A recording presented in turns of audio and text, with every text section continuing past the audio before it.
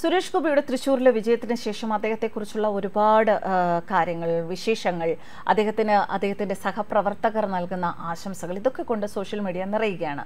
അക്കൂട്ടത്തിൽ വളരെ ശ്രദ്ധേയമായ ഒരു ആശംസയാണ് ഇത്. തൃശ്ശൂരിൽ ബി ജെ പിക്ക് വേണ്ടി താമര വിരിയിച്ച സുരേഷ് ഗോപിയെ അഭിനന്ദിച്ച് ഗായകൻ ജി വേണുഗോപാൽ.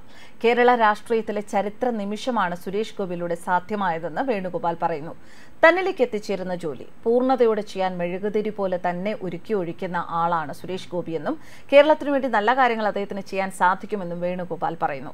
സുരേഷ് ഗോപിയുടെ വിജയത്തിൽ സന്തോഷമുണ്ട് എന്നും തിരക്കുകളെല്ലാം ഒഴിയാൻ കാത്തുനിന്നു. എന്റെ കൺഗ്രാറ്റ്സ് മെസ്സേജ് മിസ്ഡ് കോൾ കണ്ടിട്ടാകണം സുരേഷിന്റെ ഫോൺ തിരിച്ചു വന്നു. ഞാൻ ചോദിച്ചു സുരേഷ് കേരള രാഷ്ട്രീയത്തിൽ ഒരു ചരിത്ര നിയോഗ നിമിഷത്തിലാണ് നിങ്ങൾ എന്നറിയാമോ? അദ്ദേഹം പറഞ്ഞു വേണു എന്റെ മനസ്സിൽ വേറൊന്നുമില്ല. ഞാൻ ജയിച്ചാൽ കേരളത്തിലെ ജനങ്ങൾക്ക് കൊള്ളാം. തോറ്റാൽ രാധികയ്ക്കും മക്കൾക്കും കൊള്ളാം. ഈ മനുഷ്യൻ എന്നും ഇങ്ങനെയായിരുന്നു. പ്രത്യേകിച്ച് ഒരു ആസക്തി ഒന്നിനോടുമില്ലാതെ തന്നിലേക്ക് എത്തിച്ചേരുന്ന ജോലി പൂർണതയോടെ ചെയ്യാൻ തന്നെ തന്നെ മെഴുകുതിരി പോൽ ഉരുകി ഒഴിക്കുന്ന ഒരുത്തൻ. ഇങ്ങനെയാണ് വേണുഗോപാൽ സുരേഷ് ഗോപിയെ കുറിച്ച് പറഞ്ഞിരിക്കുന്നത്. മുപ്പത്തിയെട്ട് വർഷങ്ങൾക്ക് മുമ്പ് ഞാൻ പരിചയപ്പെട്ട അഭിനയമോഹിയായ സുന്ദരം ചെറുപ്പക്കാരനെ ഞാൻ ഓർത്തെടുക്കാൻ ശ്രമിച്ചു. ഇഷ്ടപ്പെട്ട ഇടങ്ങളിൽ നിന്ന് കടുത്ത വാക്കുകൾ നേരിടേണ്ടി വന്നാൽ കണ്ണു നിറച്ചിരുന്ന ഒരു സുരേഷിനെ എനിക്കറിയാം. പിൽക്കാലത്ത് അറയ്ക്കുന്ന ആക്ഷേപ വാക്കുകളും ചതിയുടെ പതിനെട്ട് അടവുകളും നേരിടേണ്ടി വരുമ്പോൾ ഉള്ളിൽ രോഷം പതഞ്ഞു പുകഞ്ഞു നിയന്ത്രണം വിട്ട് പെരുമാറുന്ന സുരേഷിനെയും എനിക്കറിയാം. പക്ഷെ അവിടെയൊന്നും കൗശലക്കാരനായ ഒരു കാരിയറിസ്റ്റ് സുരേഷിനെ ഞാൻ കണ്ടിട്ടില്ല.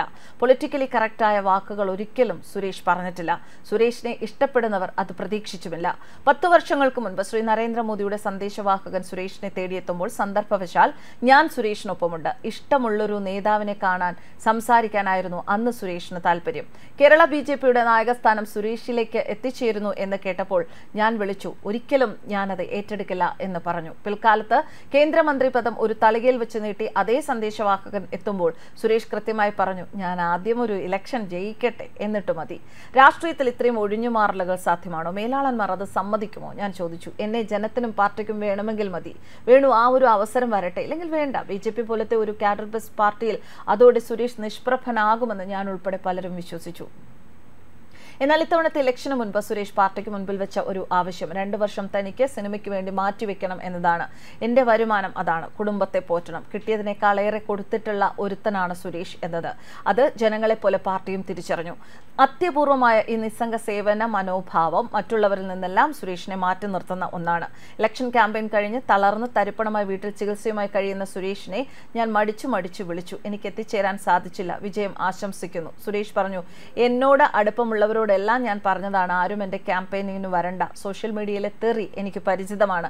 നിങ്ങൾക്കത് ബുദ്ധിമുട്ടാകും. ഇവിടെ കേരളത്തിൽ തൊട്ടുകൂടാത്ത തീണ്ടിക്കൂടാത്ത പാർട്ടിയാണ് ബി ജെ പി അത് മാറി വരും.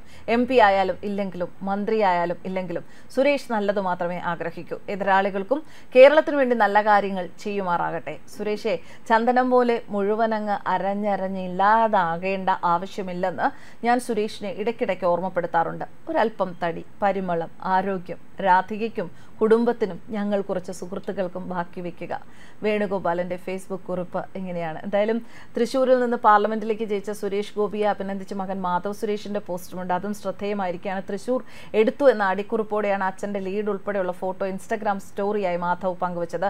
സഹോദരി ഭാഗ്യയുടെ ഭർത്താവ് ശ്രേയസ് പങ്കുവച്ച സ്റ്റോറിയും മാധവ് റീപോസ്റ്റ് ചെയ്തിട്ടുണ്ട്. മാറ്റം അനിവാര്യമാണ് എന്ന അടിക്കുറിപ്പോടെയാണ് ചിത്രം പങ്കുവച്ചിരിക്കുന്നത്. News desk karmas